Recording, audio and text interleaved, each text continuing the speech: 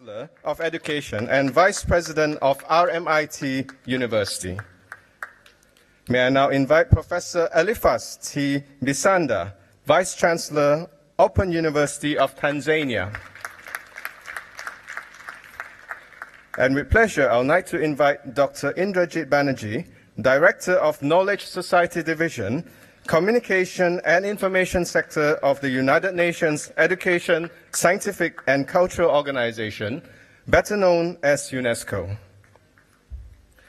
Ladies and gentlemen, we are honored now to have this session chaired by Professor Paul Prinsloo. Professor, the session is yours to control.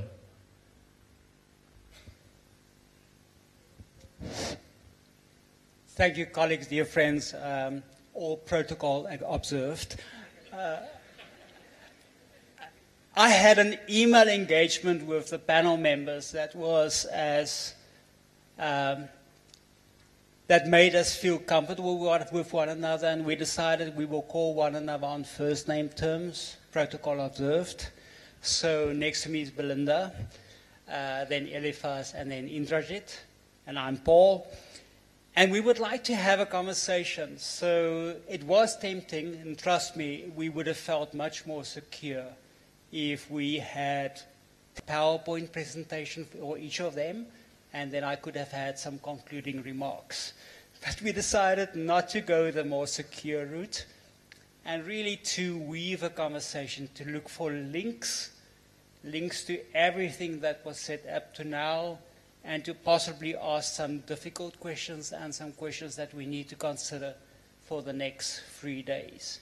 So Belinda, Elifas, and Indrajit, thank you for joining me. I feel like a bit of Oprah Humphrey or Winfrey, um, while she's much more comfortable in her chair. Belinda, I'm going to ask the panel members just to share what expertise brings you here. Why do you think you were invited? and I didn't tell them that I would ask that question. so, so what do you bring to the table? Each one of you has specific context and a specific uh, energy and expertise. So, why do you think you were invited? I hope this is on. Can everyone hear me okay? Um, why was I invited? Hmm, I was available. Wrong answer, probably. Um, no, I think I was invited because for over the last sort of 10 or 15 years I've been um, in the distance education space. Um, I'm on the ICDE, the International Committee of Distance Education and Open Learning Executive, and I think I have um, made a contribution to the thinking around distance education and learning um, over a, a, sort of an extended period of time. And the experiences that I've had, not only with groups like the Commonwealth of Learning and, and being in the ICDE community, um, give me a perspective on, on distance learning. And just Would before be? we go to Elifas, how does it feel to be the only female member of a panel where the majority of learners in open distance learning are female, and we have an almost all male panel. How does it make you feel? No, no pressure. Female? um, it's interesting you should ask that question because it's kind of often the question that I ask when I'm in places where I find myself surrounded by men. I will often ask the question, Where are the women? you know. So I feel quite comfortable with my colleagues, though. Thanks for that, and and we hope with the organisers of PCF, while it's a great honour to be on stage, Uh, we hope with PCF nine we will have one male and three female panelists. Elifas, why were you invited? And we made sure we gave the female a mic of her own. And it's not stereotyping. As the only female member, we just felt we should build in some security for her to make sure she's not overrun by all the males. So, Elifas, to you, why were you invited? What well, do you bring to the party? Probably because I'm an African. yes, I'm an African. But also, I think in the context of uh, open distance learning, I think Africa is a very special place. It's perhaps the only place on the, on the globe where communication is difficult, access to internet is very difficult. The cost of delivery by what means is extremely high, while the continent itself is very poor. And uh, of course, um, my own my own feelings about distance education as the savior for Africa in terms of increasing access, perhaps may have Im- impressed uh, Asha Kanwar and the others to invite me. I, I recall last time when he, we came here for this uh, president's meeting uh, in, in, uh, Indonesia, I made a statement. Many people came out really uh, reflecting on it. I say that um, in Africa, open distance learners are like traditional chicken. You know, the, zero, the, the, the, the free range chicken, which when they are released in the morning, the owner doesn't know what they're going to eat, but expects to collect the eggs at the end of the day.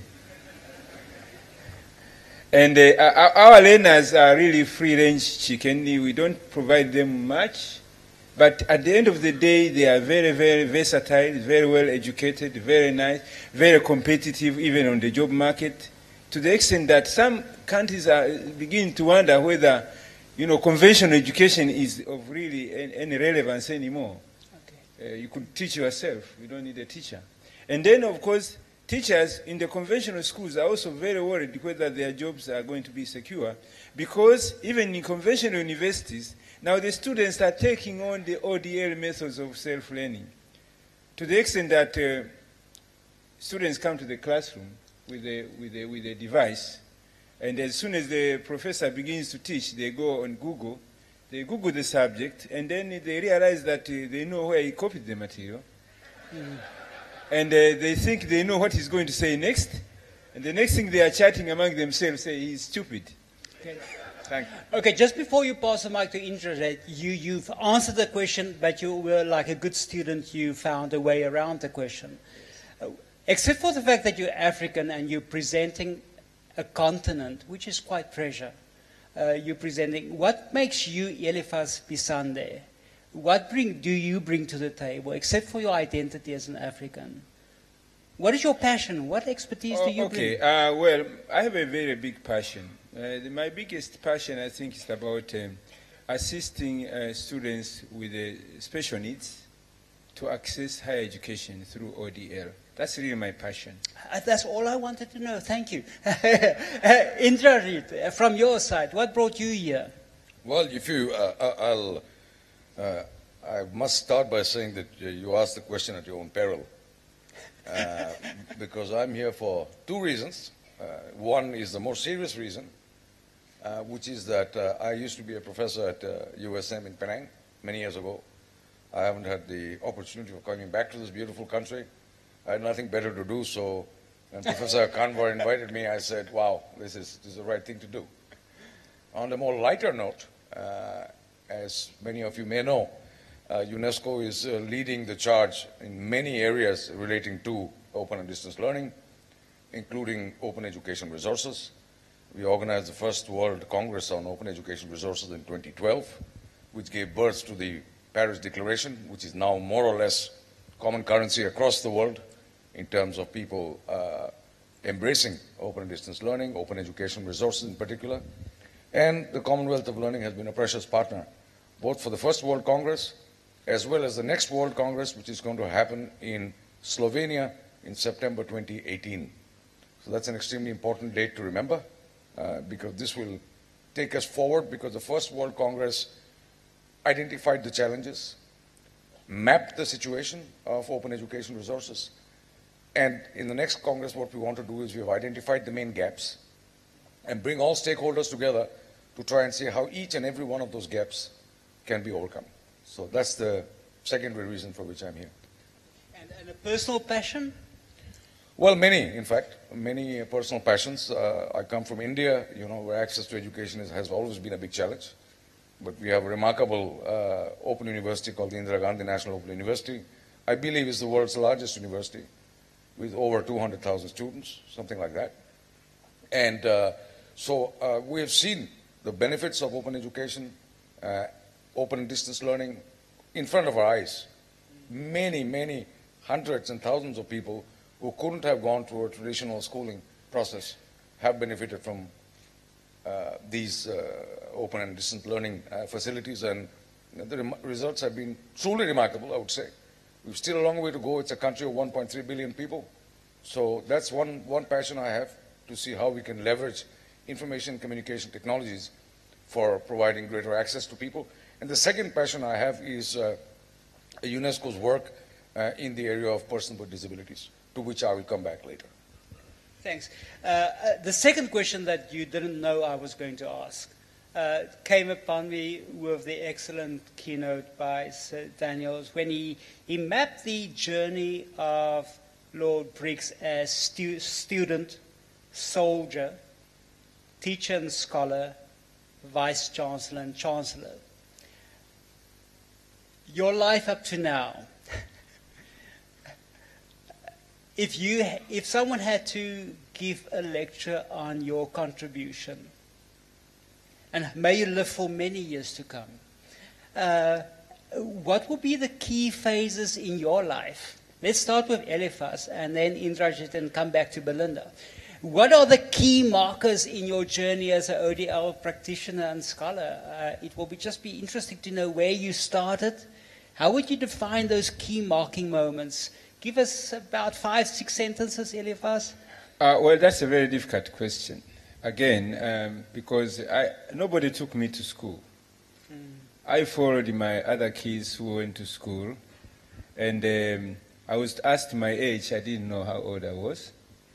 And the, the teacher asked me to reach out my left ear with my right hand, and my right hand wouldn't reach the ear. So he told me to go back home because I was too small. That was the age of the, the, the method of determining whether they were old enough to start school. But I insisted. I stayed in the school. They, I was not registered.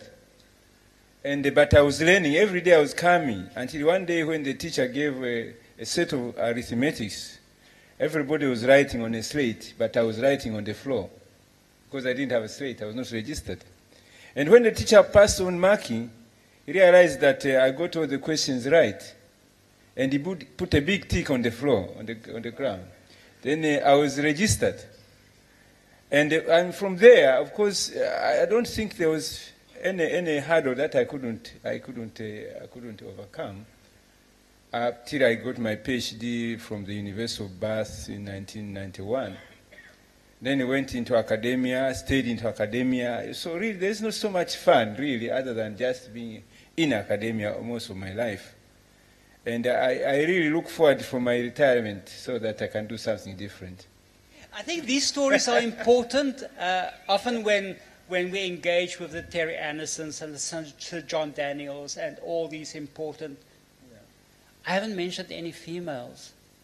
Asha Kanwars, uh, uh, the, when we often see them on stage, we think they sort of became ready-made, like these packets of pudding. You just add water and they're there.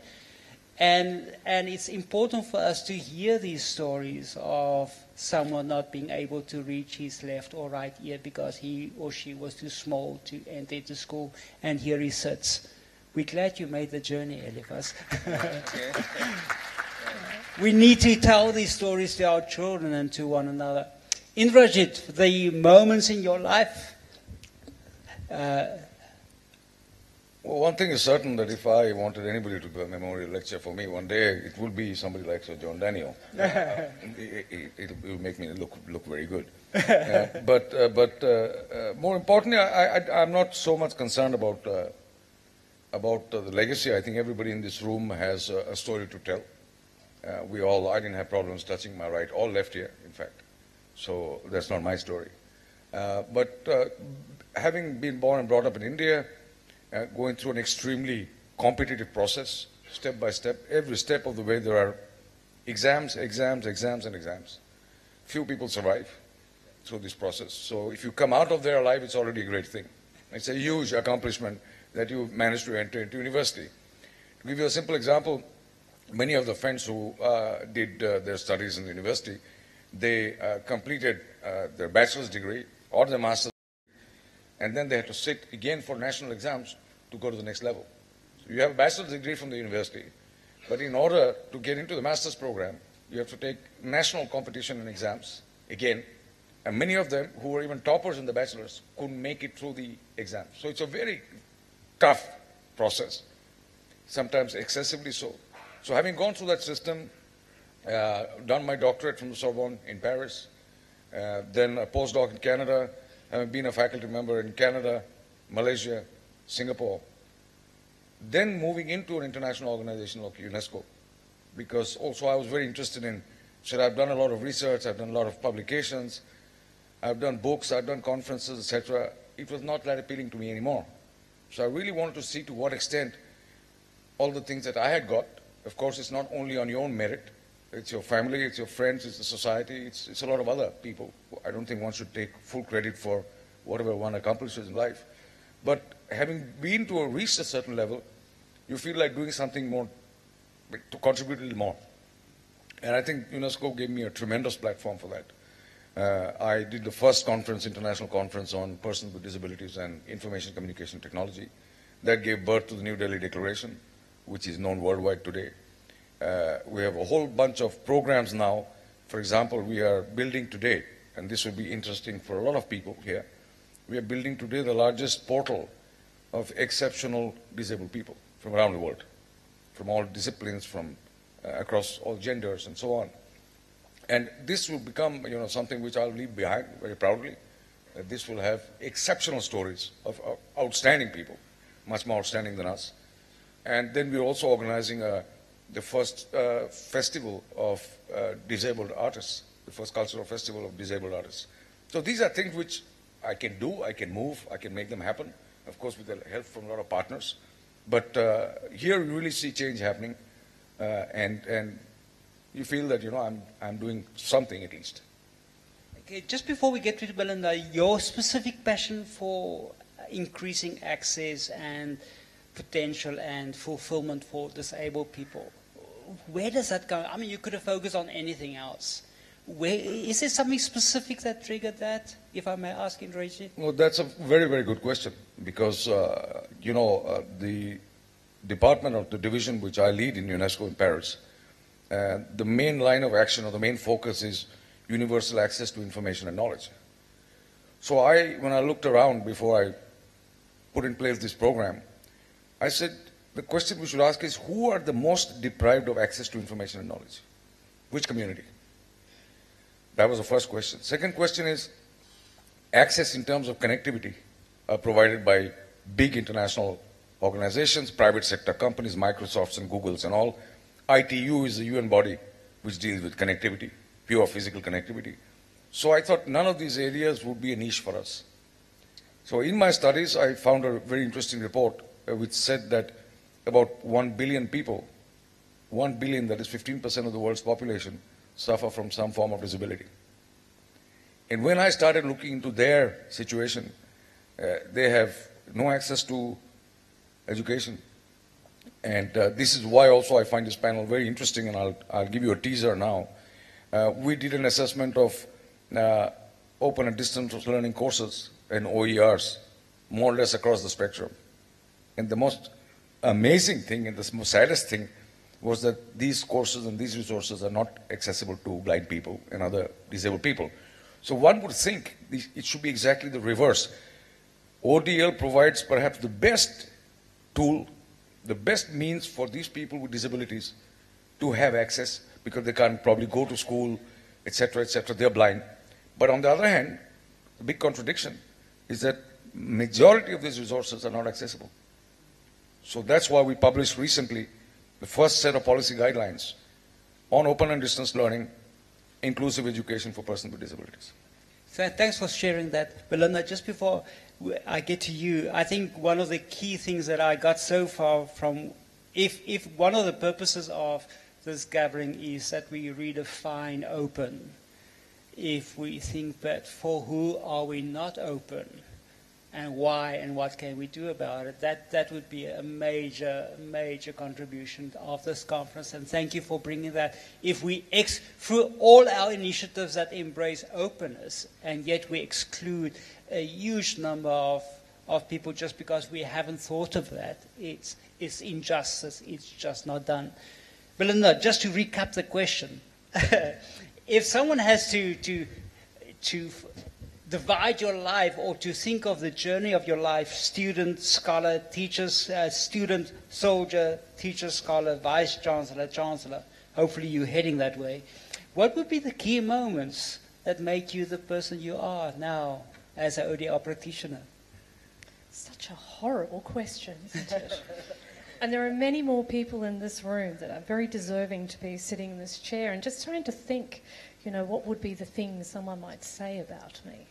Um, I'm not sure, to be honest. I guess from whence I was just a little girl, I always wanted to be a teacher. And in fact, I used to make up these little packs because we used to take these big train journeys um, to see my grandparents in the country. And um, I'd, I'd put together packs and teach my brothers and my cousins how to do things. It was just something I did. Um, I was very curious um, as a child about, about teaching, although I was a really bad student. And in fact, when I was in year 11 and year 12, I nearly didn't matriculate from my high school because I just didn't go to school. i my parents would go off to work and I'd be at home and I just wouldn't catch the bus. Um, so I was very lucky I even made it through school. And even when I got to university, um, we didn't have a lot of money. And so I went away to university and I had to work, you know, to, to go to university. And I think if there was a regret I might have had, is I wish I'd been a better student. So people might might might um, say, "Oh, she was the student that could have been," um, you know. But I think where where my curiosity really sort of landed was probably when I was doing my doctoral work, and I had the privilege of working with students and families from schools of the air in outback um, Australia, which is an extraordinary thing. Sort of started in sort of the early 1920s, just using old pedal radios and the um, Royal Flying Doctor Services, the high frequency network for transmitting. But just being out on these in these vast areas where children were learning um, through the radio, it was just extraordinary, and just made me see. I guess a side of, of what education could be and the transformative quality of just having access to that and how important that was. Um, I'm also a great traveller and I've travelled around a lot, but I think that's probably because of my mum and dad as well. I blame them entirely for that because we moved around a lot as children. Dad followed the jobs, and so we all moved with him. But actually, that's taught me some really great things too because I've also had the privilege of living in a whole range of different countries and destinations, and that brings with it a whole wealth of understanding around culture and way cultures work and how education works in different cultures as well. Um, I was also a better student when I was an online student. So I actually studied by distance myself. Um, and that really gave me a perspective, another perspective of what distance and online learning could be as well, um, which gives me, I think, um, a great understanding of what our own students go through when they're studying with us in online um, environments. So, a legacy, I'm not sure I'm old enough to have a legacy yet nor have I sort of thought, you know, I'm going to do this and it'll make my mark on the world. I'm just in the world and I love being part of this world. And I just hope that the contribution I can make as a leader in a higher education institution means that those students that are with us are helping to contribute as well to the world we want to live in, um, rather than the world that's forced upon us. Great. Uh, friends, I, I really want to compliment and applaud our our panel members for, for becoming vulnerable in front of an audience of close to 400. Uh, just sharing the, I will never forget the ear and the right hand and your journeys. Can I go now to one of the structured questions that I did send you? Uh, listen to, to everything that was said. What were your aha moments? Something the penny dropped, something that you heard afresh. Maybe it was not new, but you think when listening to everything that was said up to now, what was one of the things that sort of said, that's my aha moment for up to now on this first day of the Pan Commonwealth Conference. Belinda, you want to go first, and then no. we go to Indrajit and then Elifas. There was something that was um, quoted by uh, one of the one of the colleagues, I think, of Asa Briggs um, in the last presentation from Sir John, which was just fantastic. Thank you. Um, and it was how timid the innovations of new universities look. And that just for me just spoke, you know, millions to me around just what we have in this room when you think about the expertise of the context we all actually work in and the innovation in terms of how we reach so many learners in many different ways. And I think it's quite true. But can we live up to that? would be my sort of challenge back to the group, is just how innovative can we continue to be? Okay, great. I'm tempted to ask a follow-up question, but let's, let's go to Elifas. Just, or the audience can just make a mark of a question that why are we so timid? Why are we not more courageous? Why don't we go out and change the world? Uh, so that's my next question. I just make a note for myself. Thanks for that, Belinda. And for John, Sir John Daniels to bring me that. Would you like to I jump have, in? I have to jump in because I wasn't saying that we're being timid here. What I'm saying is that, that that quote says how timid the innovations of new universities Okay. look. So really, we're already engaging in innovation, have been for a long time. But how far can we push that to be even more innovative? Uh, uh, interested, you're burning. Uh, are we timid? Well, I, I- I think if you look at the, uh, the- the history of, of, of technological innovation on one side, and uh, uh, to what extent these technologies have been embraced by schools, colleges, universities, etc., that tells you the story. I mean, many of these inventions, I mean, you look at broadcasting. How many countries effectively harness broadcasting? In India alone, we have a whole range of educational, 24-hour educational channels. Many of the other countries which participated in the original SITE program just gave it up. So, uh, if you haven't been able to, you know, kind of leverage broadcasting after so many decades, uh, we, we realize that uh, adaptation of innovation or adoption of innovation is a very uh, strange phenomenon. I mean, even if you look at uh, certain, we come to come back to the whole discussion on, on access to persons with disabilities, you have the uh, Universal Declaration of Human Rights, 1948, which affirms the right to education of every individual. 1948, or 2016. Look at access to education. I think Professor Kanwar presented some very interesting statistics. How, how far we are in terms of providing even regular access. And there, I think, if you think smart and if you see what is the potential of technology today, we could have been leaps and bounds ahead from what we are today. Then you have the uh, Universal, uh, the, the United Nations Convention on the Rights of Persons with Disabilities, 2006, which again insists that all persons with disabilities should have fair and equal access to education. Where are we in that score? Why haven't we moved? Why haven't we moved? It's- Belinda Elifas, can we have a conversation on this before we go to your aha moments? Why haven't we moved? Why are we not closer or are we closer but not far enough? I, I wouldn't mind jumping in and just saying that we're seeing some interesting sort of phenomena around us and disruption. Um, and I'm sort of wondering where distance education's Uber moment might be. Because I think that's something we need to think about is that um, the, the distance education world that we live in is very much a replication of a traditional university environment of degrees and certificates and diplomas. But where is our Uber moment? Where are MOOCs leading us? Where is the, you know, the, the bringing together of, um, you know, short courses um, to, that accumulate? Where's, where's mobility in our world where I can take a bit from you and a bit from there? I can do a MOOC here and I can do a short course there, and that creates something that is valuable. Is that our Uber moment? Is it coming? I don't know. But, but why are the disabled people excluded from MOOCs? We have these Uber moments. We had a number of them. uh, why were even in the MOOCs, which is sort of a uh, possibly a watershed moment for higher education, or has been heralded as such, why didn't that? Why don't we find a MOOC for disabled people? Indrajit or Elifas, come, please Yeah. come to the party. Yes, uh, first of all, let's agree in countries like Africa, when you are disabled, automatically also poor. Uh, they are always at the lowest ladder in the, in the society. And uh, unless there is some intervention from elsewhere, they cannot come out themselves. Elsewhere, as in, In the society, for example, the society decides uh, affirmatively to, to support them. And we this need is, another declaration.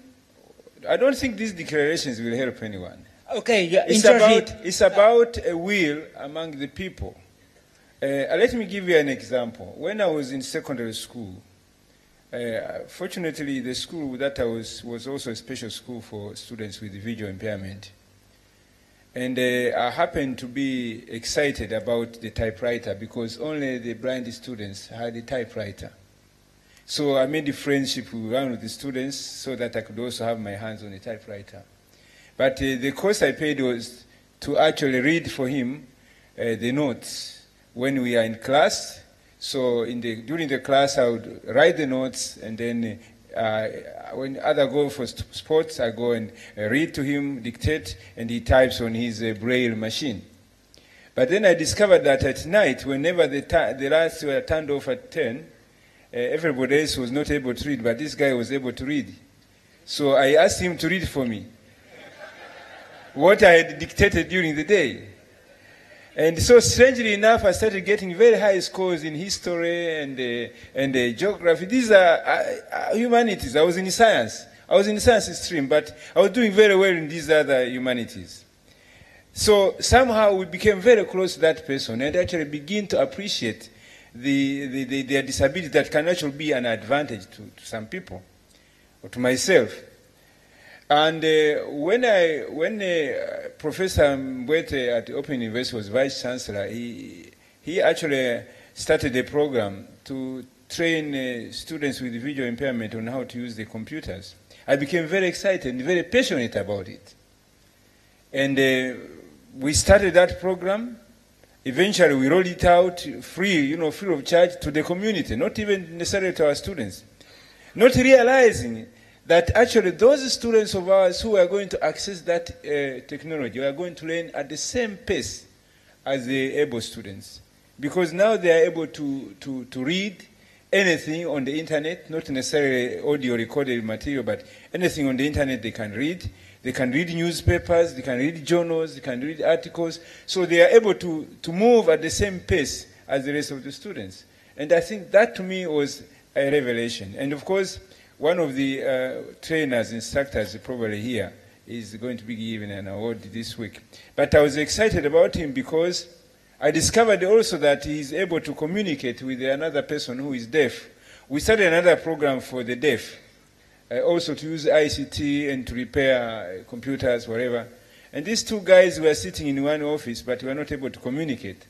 But when somebody introduced them, then they said, Oh, do you have an email address? He said, Yes, I have an email address. So they started corresponding by email, which is very un- un- uncommon to see a blind person communicating with a person who is deaf, because the blind person will not see the, the sign language from the deaf person, and the deaf person will not hear the voice from the person with visual impairment. So I really realized that technology is really uh, uh, the answer it's really the answer. If you can provide technology to these people with uh, disabilities, then they are able to actually make the same achievements as those who are not disabled.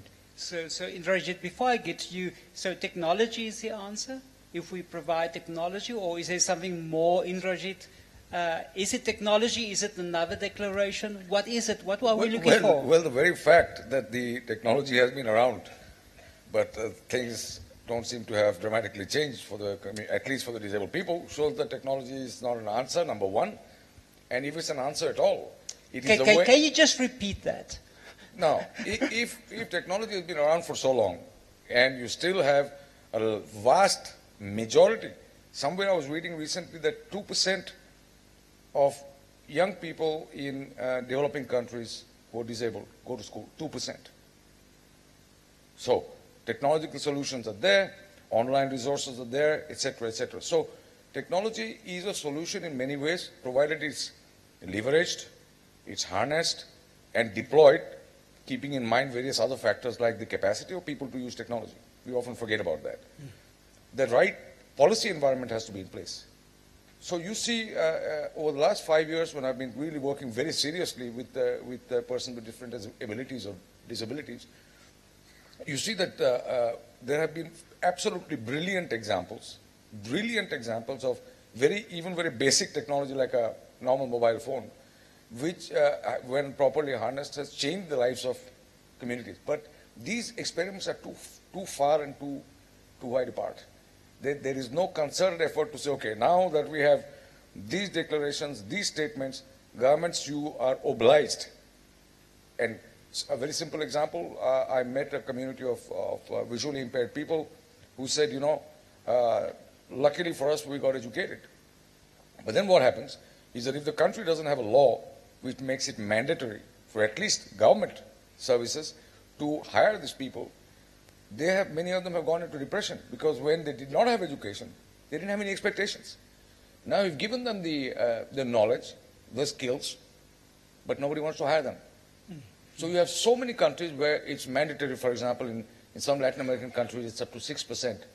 India has recently passed a law saying that three percent of all government posts must be reserved for, uh, reserved for disabled people. So it is a, I I would say it's an ecosystem which has gone wrong. Even when the tool is there, it's not harnessed, or it's too costly. It's like uh, when I did the first conference on disabilities in Delhi, which is India's capital, by the way. It was shocking to see that I had to call all the hotels saying, how many disabled-friendly rooms do you have? Two per hotel, three sometimes. Most of these places don't have ramps. So in our thinking itself, I think that is the key. In our thinking itself, we shouldn't consider them as somebody else. We must include it. That's why we talk about uh, universal design requirements. Universal design is absolutely critical. We build some nice MOOCs, we build OERs, but we don't take into consideration universal design principles. So that is fundamental, that everything has to be embedded. When you make a building, a ramp has to be there. Hmm. Not that you know how many disabled people in wheelchair will come to this building. Hmm. Hardly ever. So why spend that money? Hmm. It's completely wrong thinking. And even in a city like Paris, I organized a conference for, to celebrate International Day for Persons with Disabilities. And one of the uh, speakers from Africa was in a wheelchair. She said, it took me one and a half hours to come here because not one of the single metro stations on the line had an elevator. They all had staircases. So she kept going from one metro station to another until she said, okay, I might as well walk, walk it for the last kilometer or so, or, or take my wheelchair. That's the situation. Okay, so, so I think this is one of the aha moments so far in the conference in this engagement is, yes, we are open to people, but only some people. and we're not quite as open as we think we are when we think of ramps and access. Uh, possibly we do need another declaration, the Kuala Lumpur Declaration, just in case we forgot. What was, except for the human rights one, what was the other one you mentioned, Indrajit? One was the human rights one, which is very old. Which is very old. But then there was the uh, United Nations Convention on the Rights of Persons with Disabilities, which, And- by the way, was one of the conventions which got signed up by the maximum number of countries in very little time. And that was in what year? 2006. And we 10, 10 years. This 10 is the years 10th later. anniversary of the convention. But statistics are just not improving. Wow. So, so the Uber moment, Belinda, back to you.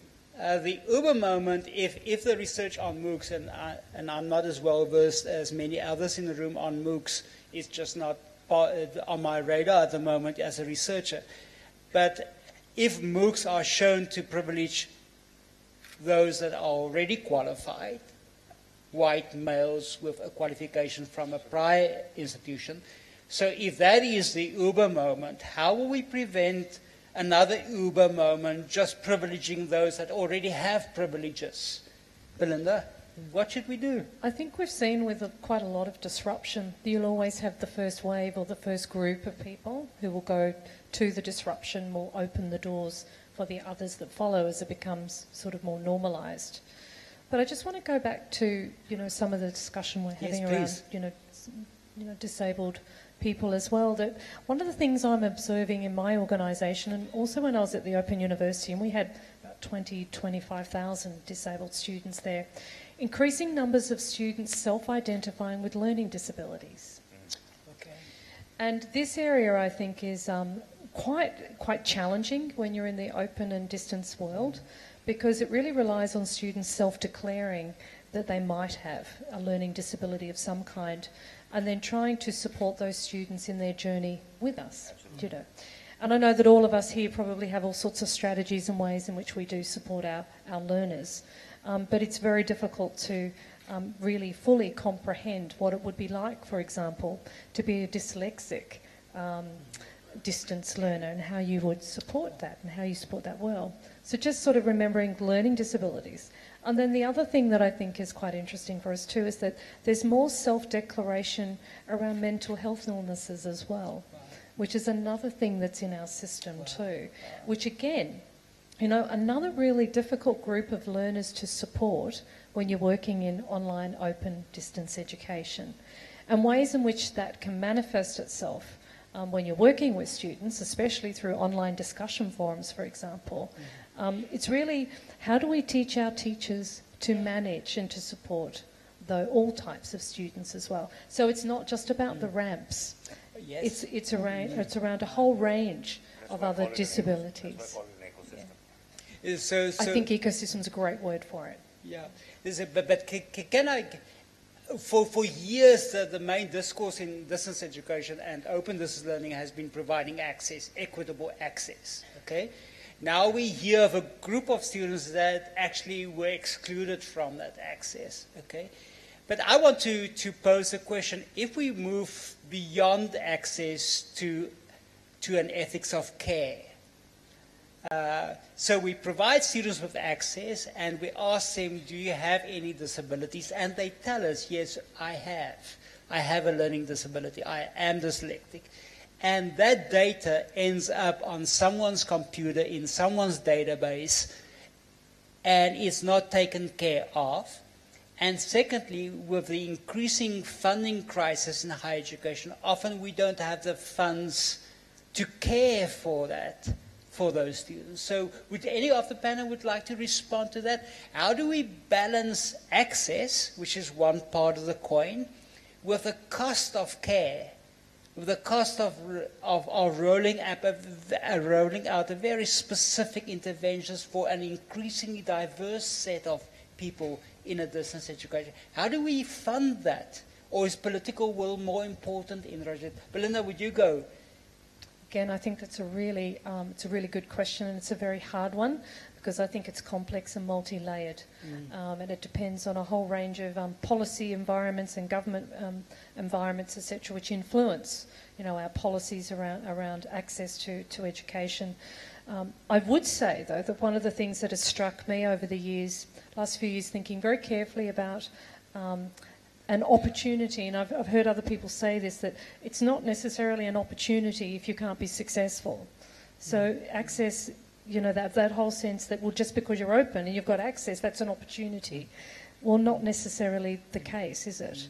You know, if you're not successful. And you look at the dropout rates across um, open and distance education, we ask ourselves some quite serious questions about, you know, self-efficacy and being able to choose and the nature of choice um, and access alongside, you know, providing appropriate and adequate support to enable learners to, to undertake our programs um, as well.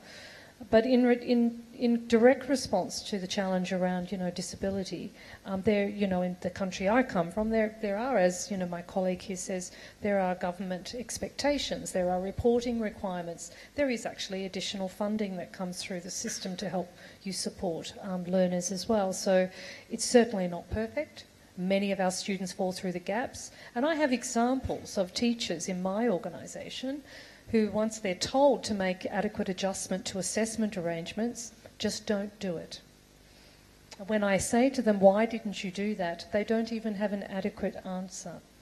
So, you know, whilst, whilst most people will do their absolute best, there's still going to be that group who will ignore, you know, even when you sit within a highly regulated environment as well. I don't know the answer to that. Introduce my Elifas, can you pass the mic to, or would you uh, uh, pass the mic to introduce uh, Elifas, Yeah, yeah. would you like to go first? Yes, I wanted to say something. Uh, when we are dealing with people with special needs, uh, we really are sometimes uh, going against many odds in the system. I'll give an example of those, for example, who are in prison. We, we've been graduating a few uh, inmates, but uh, providing support to them from the university. First of all, even getting entrance to the prison gates to go and support a student there requires a long, tedious paperwork, whatever, to get permission to go there. But then when you speak to the learners themselves, you see that they are really working under very strenuous uh, conditions. Uh, the prison uh, officers, most of them are not very well educated. And here they see an inmate who is trying to obtain a degree. And there is a lot of harassment. What are you going to do with your degree when you are serving a life sentence here? Wow. You know, so, so these are kind of things that really, you, you, there is nothing you can do to support this student, maybe to cancel, because even the canceling time is not there.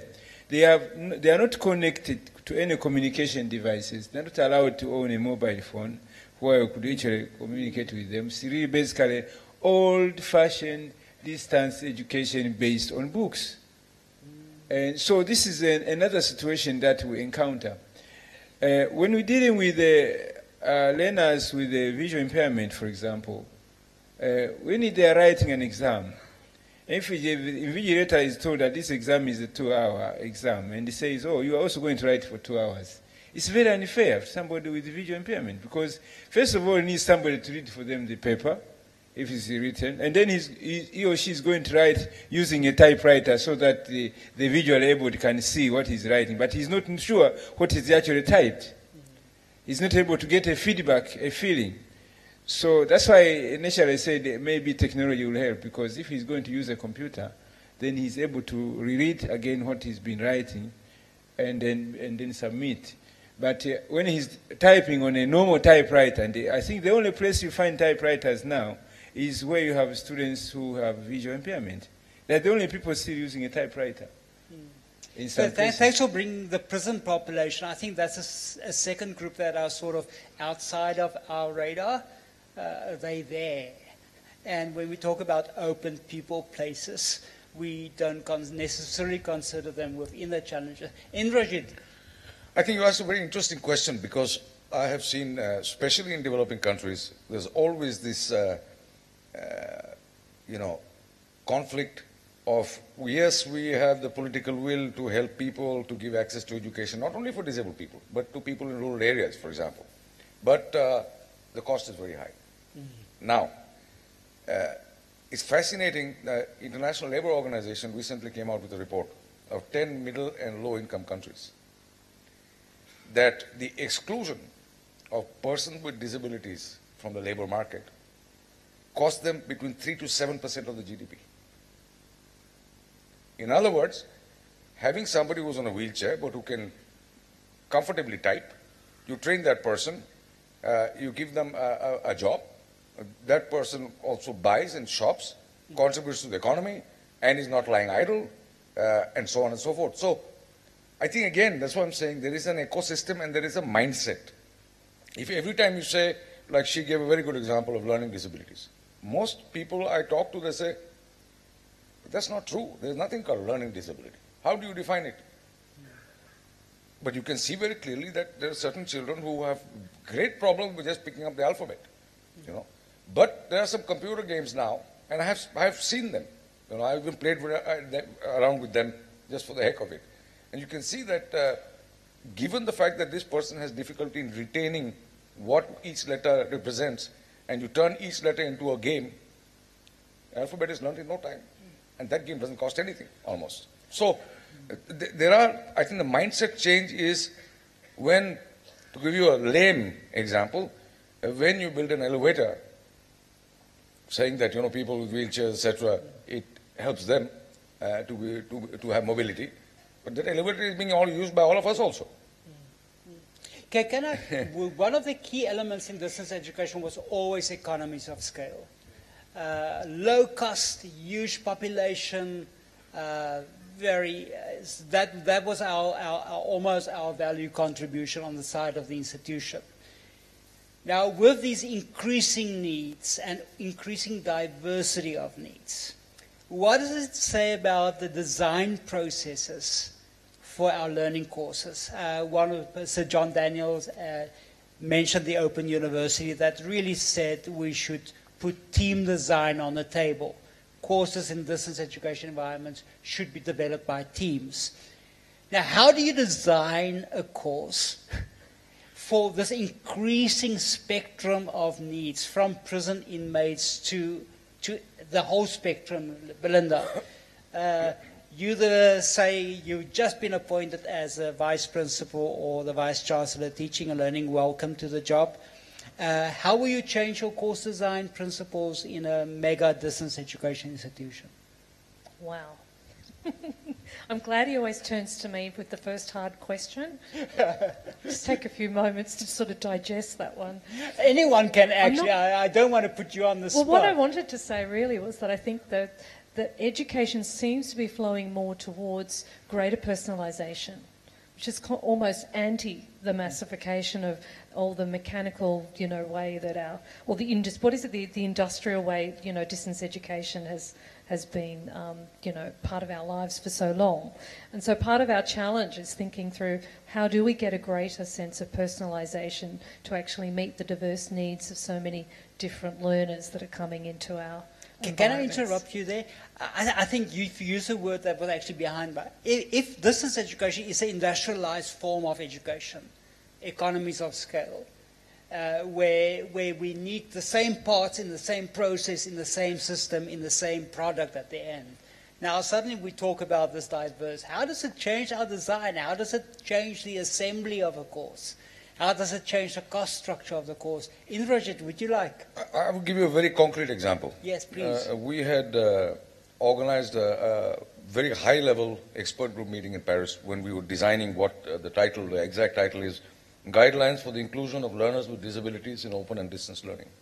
Where can we get hold of that? I, I'll send you the link. No problem. Okay. And this is really fresh, and this is based on the research we had done to, to show and to establish clearly that a large majority, as I said before, of these resources are not available to people with different needs, not only disabilities. Okay? So uh, what we did was we studied uh, several initiatives which have been done in the past to make these courses more accessible. And we found there was a big missing link, huge missing link. So what we did this time was we got these experts from different areas. For example, people, we rarely think when we are doing, uh, preparing courses of instructional designers, quality assurance people. We have a teacher who designs a course, or a team of teachers. So what we did for these guidelines, we invited policymakers, institutions, academic institutions, teachers, instructional designers, and quality assurance and qualifications recognition bodies. So all of them got around the table saying, how do we use what I said mentioned before, the universal design for learning? How do you get UDL in a comprehensive manner? And these guidelines now, of course, they can be improved, they can be adopted to local contexts, etc. But this is really the first attempt which has been made to bring everybody together to say, okay, what if there is you are addressing a group of students with learning disabilities? How, how do you cater to them? So you have experts from different fields saying these will be the challenges to get this course accessible, not only physically accessible, but to make it, you know, for, for them to understand it and, and use it. So it is a big challenge. I think the question is extremely relevant, but uh, we, have, we haven't given it a good shot yet. So I think it's about time that even in the Kuala Lumpur Declaration, that we come out with these elements, saying that this is absolutely essential when we are doing any, any work in ODL. But, but what- fascinates me about this discourse, Elifas, and I would like to have your response, is uh, a huge part of my career uh, was as an instructional designer or a learning developer, and the academics or the content experts saw us almost as a necessary evil, with the emphasis on the evil and not necessarily necessary, where we actually had to negotiate the whole time and say, please act, add an activity, please consider A, B, C, D. So the whole time you were negotiating with a content expert, okay, for better learning. Now we add a whole different, not a different, but an enhanced set of learning principles or design principles where, where we want a team to sit. Uh, how much time should we allocate to the design of a course in this industrialized process where, where we design the course, we, we hopefully, if we have time, run a pilot, and we don't always have time for the pilot. And if we have time for the pilot, we don't always have time to engage with the feedback on the pilot. Okay? So, how do we plan for this where we have to have these universal learning design principles? have a pilot, get feedback into the system, redesign where necessary, roll out, get feedback. What needs to happen in an institution as an ecosystem? Your word. Uh, Mr. VC, please. Yeah, I think the biggest problem here is actually us getting feedback. We may be designing courses the way we think they should be, uh, thinking that this is what the students will like, But really, we, we get disappointed at the end of the day when actually the students find their own way out. And uh, they come with a solution, the same solution, but using a different method than the one you actually taught. Uh, it's just because information is now just everywhere. And these courses, may be designing a course, but the, the student discover a similar course on another website, which is better presented than yours. Then they don't study yours. I've been receiving several cases of students complaining that uh, they answered differently from the lecturer, but they it where they got the answer, and the lecturer said, No, you're wrong, because you were already ahead of the lecturer. And, uh, and uh, as I said, um, knowledge is transforming, or rather, is mutating all the time. It's changing. I, I'm, I'm a scientist, and uh, when I was teaching phys- when I was, I was taught in physics uh, and the chemistry that there are three states of matter, it became you know, the rule. Everybody here knows there are three states of matter: solid, liquid, and gas. But when you Google, you find there are more than four, probably five. And so if an, a clever answer, a clever student says there are five states of matter, he gets it wrong. Because the teacher thinks there are only three states of matter. And so I, am very much afraid, you know, what we are trying to do sometimes, whether it's real, it's good to bring in a group of people, different uh, knowledge, different background to, de- to develop a cause. But I think the OER provides a better solution where you look at what other people have done. If there is a cause that's already done and it's a CC, you know, cause Creative Commons, you're able to update on that work on like you have on, on, on Wikipedia and other things. I think it's better. We, we, we are constantly sharing the knowledge, not on a local level, but on a global level. I see Rory yes. smiling when you talk about that. But, but can I put you on the spot, Mr. Vice Chancellor? Uh, how many staff do you have in your learning design or instructional design department? First of all, that's our biggest problem. on, on our campus, we had only four instructional designers, saving about 300 academic staff. What, what we decided was to teach all the staff on instructional design so that they can do both. Because they, otherwise, you not have the capacity to hire, even they are not even there in the market. They are not there. If we advertise, you are looking for instructional designer, you get people who did instructional design, but they are, they are computer illiterate. So uh, what do you do with them? They uh, did the theory on instructional design in their education course, yet they are not computer literate. Belinda, can you respond to that? And Richard, I would love to hear how would you capacitate a, a distance education university with instructional designers for the STEAM approach that can really make sure we, we are open yeah. Uh, Maybe let, let me finish up. I, I, spoke once with the president of Monterrey University in, uh, in uh, Mexico. And uh, I asked him, how many instructional designers do you have in your, in your university? He said, for every professor, we have two instructional designers. I was shocked because in my university at that time, there were only two for the whole university. And for him, for every professor, there are two instructional designers. No wonder that university is virtual. They are able to do everything by e-learning. Wow. Wow. Thank you. Thanks for that, Elifas. Belinda, very short. I want to ask to move to other questions, but I think this is very, very useful. How does a VC plan for instructional design to become an integral, capacitated part of any design process? I think it depends actually in terms of what you're saying. I think you're making some assumptions okay that um, all academic staff or all universities might make content. I mean, when you think of our world and the world that we live in, and again, I'll point to Rory like you did, we have extraordinary resources in our world, whether they are commercial resources or they are free and open resources. But open, but on PDF. Well, not necessarily PDF. Are they? They might not. One hopes they're I'm not all PDF. I'm joking. Uh. but, but, you know, there's an assumption here that, you know, all distance and open education is going to be made in this industrial way and requires the same ways of approaching how we've done things in the last 20 or 30 years to be the same moving forward.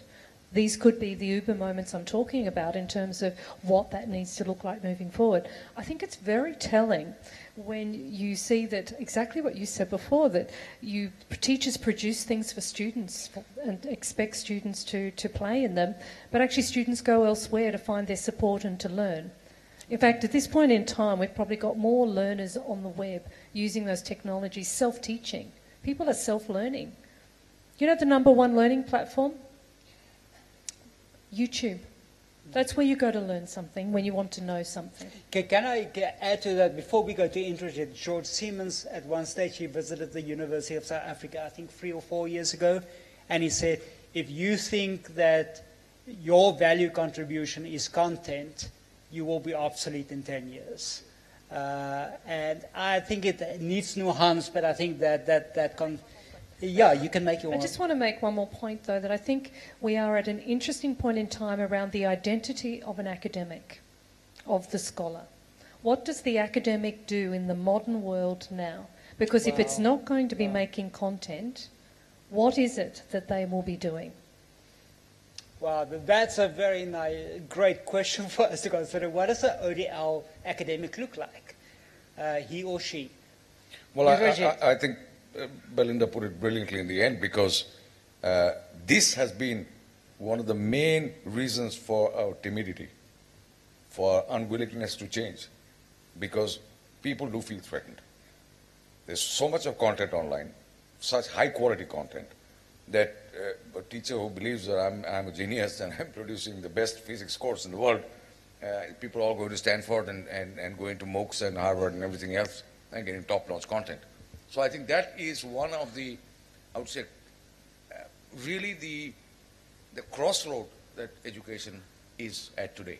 You have the technology, you have the content, you have everything, but if you want this to break all the barriers and the walls of traditional education systems, you will be shaking up things so profoundly. And this is why I, I agree fully with Belinda. What does your role become then? And I live in, in Paris. France, every president who comes to power uh, in the campaign is a total reform of the education system which is promised. They win the elections if they do. They announce the reforms, and next day, you know, every school teacher and every teaching institution and association are out on the streets. There are strikes, everything's paralyzed, and they pull back the reform. Hmm. So there is, there is, I'm telling you, there is not only inertia, but there is a, a certain agenda, a, a deep sense of insecurity within education institutions to be able to say, okay, now, you know, let's open the floodgates and let it flow. So this is an absolutely critical thing. And, and I think we are very slow in, in uh, you know, doing that. But to come back to your question on instructional uh, design, etc., and all that, I think you yourself mentioned it at some stage that we must take into consideration the question of scale. If I'm designing a course, let's say on physics or mathematics, etc., etc., and for course, these courses, the content doesn't change much. Basic principles, it's, it's hard science. It doesn't change much. If somebody invests in instructional design and, and does a thorough job of the, making this accessible to a wide variety of audiences and students, this is a global course. Hmm. It's not limited to your university. So I think the argument that how much can we invest in instructional design within our own institutions eh, eh is fallacious in many ways. Hmm. And, and I think that's, the scale factor, the quality factor must come into the picture. We at UNESCO, for example, when we did our OEC, OER policy guidelines, we even went to uh, many of the universities around the world adopted our policy guidelines. But then they asked us for help. And we saw, for example, in the University of Nigeria, amazing, they had very, very good courses, solid courses prepared by their own professors. So I said, what we do is we OERize all your courses. And then we saw there was enormous interest from other African countries around because that content was much more contextually closer to them rather than some content coming from the US or Europe, etc. So now that OER platform that we've created helps people across continents, uh, within continents, within countries to share all these resources. And I think we are not capitalizing sufficiently on that. Um, we've got five minutes left. This is the theme for this conference is contributing to sustainable development, and we spend a lot of time on open, uh, equitable access, justice, care, ethics of care, and I'm okay with that. But considering the, the global crisis in sustainability, the climate change the debate, the, the, the fact that we are more unequal than ever before, except for the dark ages, and we may not be wanting to go back there. What must change? What role does open, distance, and flexible learning have to address the sustainability crisis? Should we teach a different type of microeconomics and macroeconomics? What uh, can we just continue to talk to teach the same things that got us into this crisis? So we, we have the technology, we have the people. Should we cha- uh, uh, teach different things Indrajit? Well, you know, I think I think uh, uh, Asha, uh, uh, Professor Kanwar, she made a very good point on establishing the links between education and sustainable development. And once th- that link is more than evident, that is why it features so prominently as SDG Goal 4. So uh, there is absolutely no doubt that edu- education is a is a is a perhaps a central pillar for building sustainable development, sustainable. But only if we teach different things. Yes, of course, of course. So there we go into discussions on quality, you know, uh, uh, variety, But who, de- who determines quality Indrajit? Is it the market? Is it Wall Street? Is it, is it the financial Uh, that- sector? that- that- that's a debate. It's on its own. I mean, this is why you have quality assurance people. That's why you have governments uh, who, who ensure that you know there are uh, curricula are, are, are tested properly, etc., validated, and so on and so forth. So there's a lot of quality control which governments do themselves. But is it not a question? Sorry, I keep interrupting No, you. go I. I want to push you. Uh, if, if the king assesses the quality of the course, can the curriculum ever say the king is naked? No, but the kings change also. That's the point you left out. And they're all So dressed. kings go, prime and they're ministers all naked. go, kings go, prime ministers go, new people come, and the education system continues on its own steam, whichever direction it has been set. So I, I don't want to get into a too complex a debate on, on quality assurance, but uh, the linkages between education and sustainable development being clearly established, uh, even statistically. Uh, the, the question now is how does open and distance learning feature in this linkage? And there I would say just look at any, any figures on access to education across the developing and the least developed countries, and you say it's, it's quite abominable and quite pathetic. So when you have, uh, instead of building schools which cost money and do this and do that, when you have tools, when you have access to resources online, it's a question of providing them connectivity sometimes.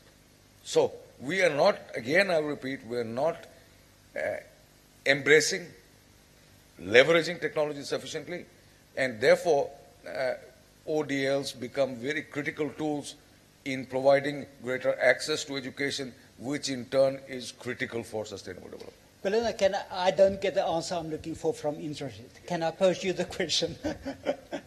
Uh, uh, now we give, now we have the technology and we give more people access to the same microeconomic principles that got us into the mess we are in, or macroeconomic principles. Uh, should we teach different, does open distance learning have a special role in, in teaching a different message? That, I, I, I think we have to be a tiny bit careful to um, when we start talking about global messages, in a sense, Okay. you know, because I think, but yet we teach microeconomics the same everywhere? well, do we? You, you know, that's the Should question. we? Do we, or should we? And this is where I think it becomes problematic in saying we should teach um, certain things in a certain way, um, because I think you start to then get into that sort of dictatorship level where you're starting to tell people how they should think and how they should believe and what values they should have. And in this room alone, we have a diversity of, div- of values and beliefs that should be able to sit alongside each other and fit as part of a jigsaw that makes up, you know, the complexity of the world we live in. So no, I'm probably not keen to say that every curriculum should be the same. They can't be the same. There are no doubt universal values that we would probably all subscribe to, and I think there's something interesting that ODL can offer around global mobility that we've only really seen in the physical sort of campus-based organisations where students shift. But the notion of opening up ODL to a global mobility of, of a different kinds of students who travel through um, our world could actually be quite an interesting thing to do conceptually. But there is something I think we probably all do subscribe to here in this group, and that we all do subscribe to access and equity and equality, the really big sort of values that underpin why we're probably all in the business of open and distance learning. But should we all teach the same curriculum? I think that's potentially a step too far. Elifas, you have the closing statement. As the African, uh, as a black African, I'm the white African on the panel. Yeah. Uh, uh, if, if I may. Noted. Uh,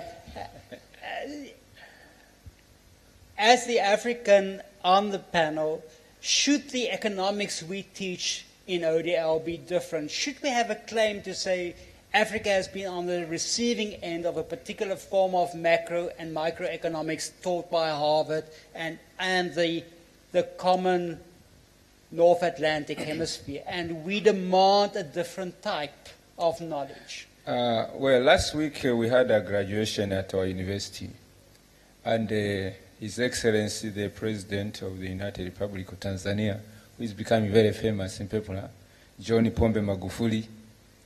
Many people have heard of him. He's a very revolutionary guy. He was there, and the Minister of Education were there. And what he said was that uh, the government considers the graduates from the Open University as of equal quality as those from other universities. Now, if you're going to teach them different economics, then that will change. It will change for their disadvantage. So I think I don't think that we can we can teach different economics or different physics or different science to our learners. We must teach them exactly what is relevant to the time. And of course, when it comes to sustainability, uh, I'm really talking about our own survival, the survival of our children and children, our children's children, you know, grandchildren, in this Mother Earth, which is becoming uh, too much uh, of consumerism. You know, we consuming more. And yet you don't want to change the microeconomics. And we really, uh, well, my, I'm not an economist. I wouldn't, I wouldn't even tell the difference between micro and macroeconomics. I'm an engineer. Neither do I. So Okay, you talk about physics and maths, I'll understand. Uh, so, so I have to stay in my own plane at this particular level. But what I'm trying to say here is that uh, whatever we do should not exactly be different from whatever the conventional system is doing, because after all, the two systems are converging. Very soon, there will be no difference between open distance learning and uh, uh, conventional learning. Uh, recently, one Tanzanian uh, living in the US, uh, I met him, he just bought a university. He was just walking in the street and saw a, a, a poster, somebody was selling a university, and he bought it. He asked, why is this university being sold? He said, all the students have migrated to online courses, so they're closing the campus. He bought the campus, and then he started also online courses from that same campus. And he came to, to Africa to look for students who can register and get a US degree without even needing a visa to the US. Okay, one last question for the panel, and I'm wrapping up. If there's one thing you want in this Kuala Lumpur Declaration that hasn't been said before, uh, if you don't want to send, send an email to the email address, but you want to announce your, say, please put that in the Kuala Lumpur Declaration of 2016. Uh, what would you like to see there? Uh, anyone go first? Anyone with a mic? Sorry, Indrajit, you ha- don't have a mic, but you will have to fight Elifas for the mic. Uh, what do you want to see? One sentence in the Kuala Lumpur Declaration, Belinda? I don't think we've spent enough time yet, but we haven't had enough time yet to talk about the learners themselves. So I'd like to see learners front and centre, um, regardless of whether they have disabilities or other, um, just learners to be somewhere in there front and centre. Okay, great, thank you. Elifas, seeing that you have the mic, what do you want to see in the Kuala? One sentence, not more than one sentence, otherwise your chair will disappear. Okay, I would, I would really like to say the words that uh, uh, Sir, Sir, Sir, Sir David ended with. Uh, that we would like to see more, uh, less and less attempts to close the open system. Uh, currently, I think those of us working in, especially in Africa, we are being regulated and they are being closed. Even I, sometimes I wonder whether we are an, an open university. You know, we, yeah. So I said I'd prefer that uh, in this declaration, let open remain open. Okay, thank you. Uh, Indrajit, last, you've got the last word, sir. One sentence. I know it's difficult for you. Let's leave no one behind. Uh, leave no one behind. thank you, colleagues. Thank you to the organizers. And let's give a last round of applause to the panel.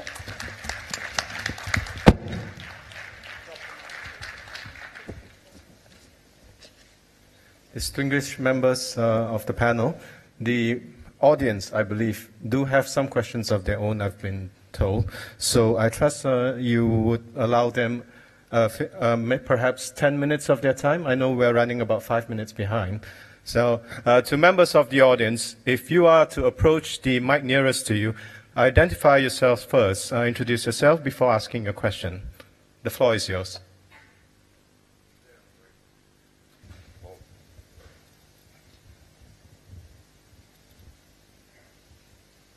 Can you just, when you have the question, just introduce yourself that we know? And if we can keep the questions short, that we make optimum use of the time. Thank you, sir. Yeah, thank you very much for this interesting debate we had. Uh, I am Shahid Rasool. Uh, I am Director of Commonwealth Educational Media Center of Asia in New Delhi. And my question is to Dr. Banerjee. You said, uh, if I correctly recall it, that technology is no solution unless, I mean, you put in quote unquote, unless we leverage and harness technology properly. By saying so, are we undermining the potential of technology for teaching and learning in distance and open mode? One. If technology is not the solution, then what is the solution? Uh, Thank you for the question. As short as possible. Well, uh, you know, uh, just imagine if I gave you a, a TV set without any TV connection. What would you do with it? So, uh, TV set is useful only when you have content which uh, you find interesting and consume. Uh, first point. Second point, I clearly stated on several occasions that it's the ecosystem which matters, and uh, whether it be design, etc. And I would like to actually add one point, if you allow me. That is that we didn't discuss this at all. It's the question of, of languages. When we talk access, we rarely touch upon the question of languages. Now, let me give you a very crisp example. There are about 7,000 official languages in the world. So let's say you have a, an open education resource course or, or uh, any learning materials. It may be excellent, but because of the diversity of languages in the world, obviously it can't be used by a whole bunch of people in the world. So 7,000 official languages in the world, out of which around 400 are online only, out of which 10 of the most important languages have 75% of the content. So what are we talking about in terms of sharing knowledge and sharing ODL and OER and all the rest? Thank you. Thank you. Belinda, would you like to come in or not? Another question? Thank you, sir. Uh, can we have the next question a female, please? Otherwise, the males are taking over. Uh, Sir, nothing against you, but you can raise your question, and but we would love the next question to be from a female in the audience. Pro- uh, Professor Prinsloo? Yeah. May I, sorry to interrupt, can, in the interest of time, can we just limit it to the next two questions, please? Okay. Okay. Can we have the? You, and you have a question or not? Yes, yes. Okay. You the second last question, and the female behind you will have the last word, as is great. Uh, anyone? Uh, okay. Great to have a female voice. I'm Janana Yalotich, and I'm doctoral student at Athabasca University.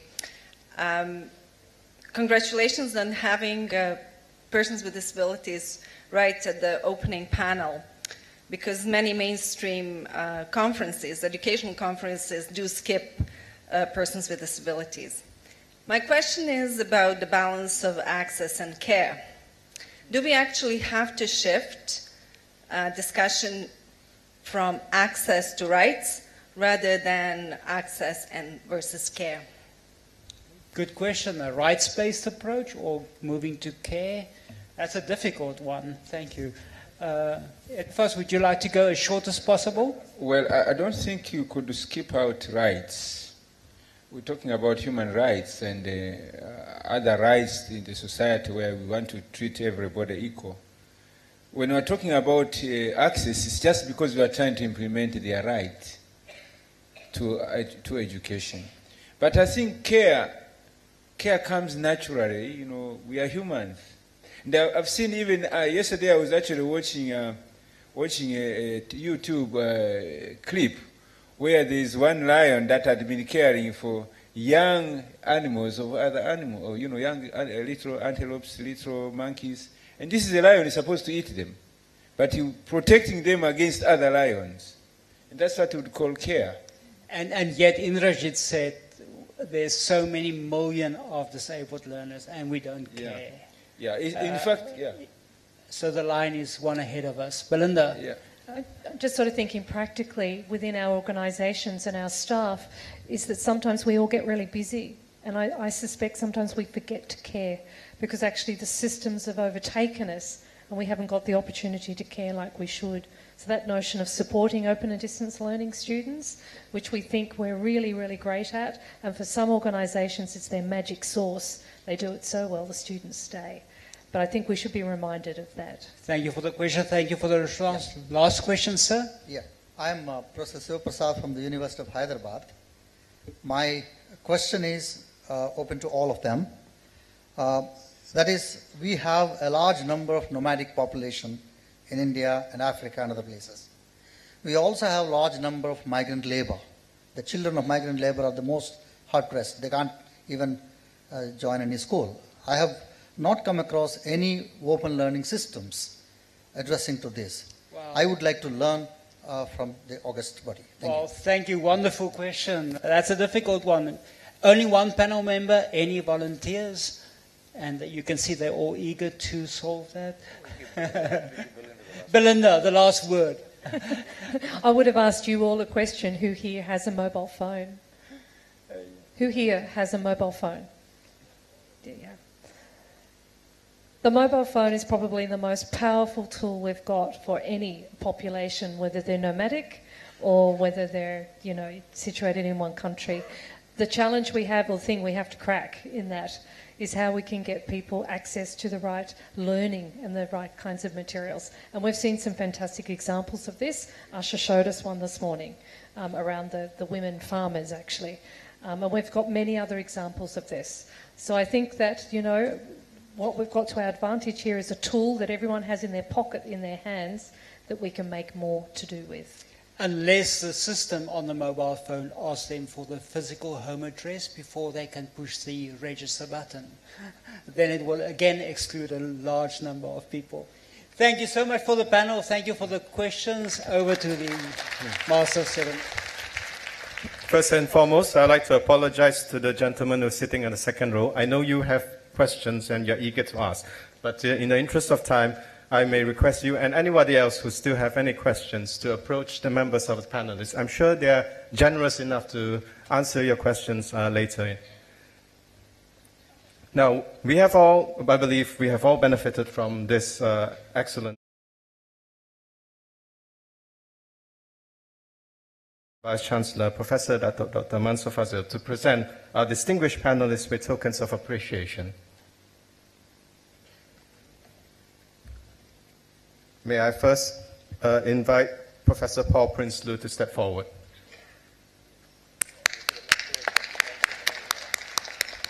May I call upon Professor Belinda Tynan to step forward? May I invite Professor Elifas Bisanda to step forward? And last but not least, may I call Dr. Indrajit Banerjee to step forward? Thank you very much, Yang Berbahagia Dato, Professor Prinsloo, Professor Tynan, Professor Bisanda, and Dr. Banerjee. May we humbly invite your good selves to step off from the stage and take your seats at the VIP section at the front. Ladies and gentlemen, our official photographer has requested to commemorate this session with a group photo. May we invite participants who are seated to the far left and to the far right to come to the center, and those who are in the, in the back to also come